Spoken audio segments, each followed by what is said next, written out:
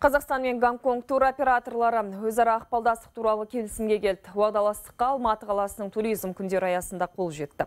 Роуд шоудыға жүзден астам тур агенттік пен 20 қауымдастық қатысқан. Шара аясында қазақстандық 10 компания Санган арнайы әкімшілік ауданының әріптестерімен кездесті.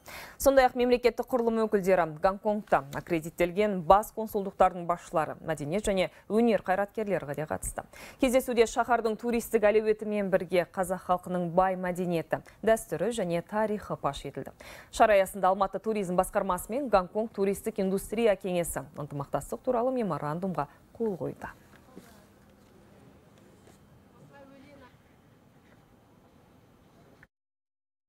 Азаматтарын, Гонконг тұрғындарын елімізге шақыруға бағытталған.